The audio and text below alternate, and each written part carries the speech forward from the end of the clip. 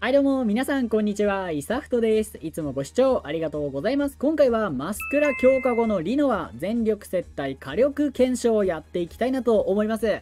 思いのほかいい強化をもらっていたので紹介していきたいなと思います。まずは、えー、そんなメインのリノアはどんな強化をもらったか見ていきましょう。表の LB の効果変化。歯がゆかった武器のデバフ覚えました。35%の投擲デバフ。しかも範囲は敵全体という素晴らしいグッドですね。続いて、BS5 の LB にも変化が入りました。プリモニションの威力加算の値がなんと57,500しかもですねメインウェポンであるアポカリプスプラス3まで強化が可能になりました単発の火力は4万5000ここに先ほどの威力加算5万7000が乗りますので単体火力は10万2000これを4連で使えますのでマックス40万超えのアビリティ。こちらがリノアのメイン火力となってます。さらに固定値の強化が入ったことによりなんと2突で魔力値1万6000超えようかといったところ。これすごくないですか？装備に関しては、えブグ解放クエストで獲得した新シューティングスター固定値の1000が載っているような形になっています。またスパトラを使った、え固定値の500合わせて1500が載っているような形になります。装備に関してはとにかく魔力値が高いもの。アビリティに関しては機械キラーを意識した機械キラーを2つブグ倍率固定値500つけているような形になってます。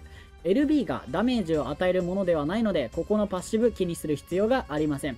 ビジョンカードはディオセスの固有 VC とにかく持てる全てでリナワを接待していきたいなと思います。では早速やっていきましょう。まずは今回の魔法壁はセシル。そしてフィーナ味方全体に闇付与をやっていきます。ディオセス味方全体に分身の付与続いてホークアイ。リノアのための88の精神デバフを入れていきましょう。そしたら、えー、アーシェ。アーシェは浜石魔風剣を使って魔法の無効化。最後、リノア、エリア展開を行っていきます。リノアのエリア展開にも、えパーセンテージの情報修正はあると思っていたんですが、30%止まりという形になっていて、まあ、若干ブラドより低い形になってはいるんですが、火力としてはリノアの方が断然上という形になっております。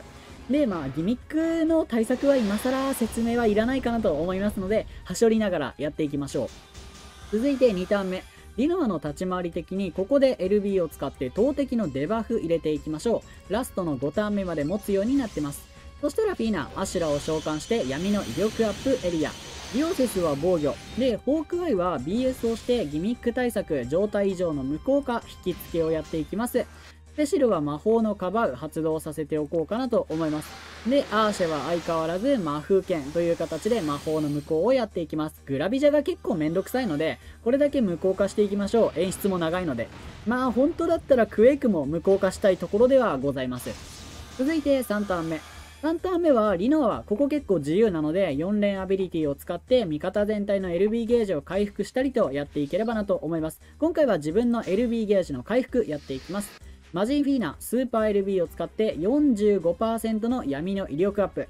ステバフ400はリノは自分でできるので闇の威力アップだけお手伝いいただきましょう。でシルはシェルがやっていきます。ディオセスは防御。でここでリロードを選択してホークアイには浜石持たしておりますので魔法の2つの無効化。デスペガが特に厄介なのでこの効果を打ち消すデスペガ無効化していきたいなと思います。こんな感じで、えメテオとデスペが無効化していくような形になっております。続いて4ターン目。そしたらここから本領発揮ですね。アーシェ機械キラー250%を単体付与。これはもちろんリノアにかけていきます。リノアは BS5 の LB プリモニション威力加算をやっていきましょう。ステバフの400も追加されているような形になってます。リオセスは防御ホークアイも防御。続いて、えー、フィーナ、あ、まあ、浜関やればよかったけど、まあ、いっか。2人とも、あ、セシルはあれだね。その他のダメかだけ入れておこうかなと思います。いやー、グラビジャーが来るから、魔風剣、浜関、どっちかやっておくべきでしたね。まあ、いっか。どうせセシルが全カバーしてくれるんで、まあ、問題ないかなと。ダメージカット率も高いから、5000未満ではあると思う。まあ、別にどうでもいいんだけど。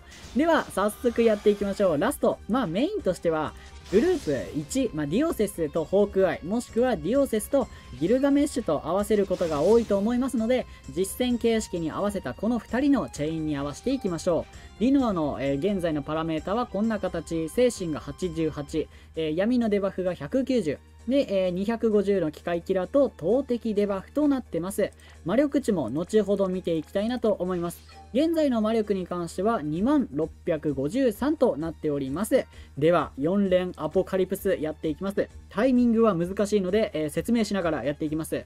まずはですね、簡単にリノアの魔力、一発目のアポカリプスだけは魔力タメルが乗っているので、22,726で打てます。で、その他の3発は、さっきの2600いくつで、えー、ダメージが入っていくような形になっております。で、タイミングは画面が2回白くなった後の緑の輪っか。1回目、2回目。この緑の輪っかが見えた時に押していくと、まあいい感じでチェインが入るんじゃないかなと思います。いやーごめん。ちょっとずれました。もうちょいゆっくりやっていきましょう。はい、じゃあやり直していきます。まずはリノア。で、タイミングはさっきと同じ。まあもうちょいチェインが遅くなので、画面が1回目、2回目、緑の輪っかが多分消える、消える瞬間ぐらいでいいのかなと思いますんで、これでどうでしょう？素晴らしい。これぴったしですね。最後51チェイン目が、なんかこう、ラグがあるような感じで入ると多分ベストだと思います。しかも最後10億超えてたね。47。まあ、ただ、ディオセスがね、いくらかダメージを出してると思うので、その分を差し引いてやっていきましょう。なので、47-11。いやー、いいじゃん。36ぐらい最後ダメージ出してるような形かなと思います。ラストの一発が10だったので、途中の2から4発を10と仮定すると、最初の一発目、魔力タメルが乗った一発目は、まあ、どうしてもチェインが浅いところで入るので、まあ、大体5から6億ぐらいのダメージかなと思います。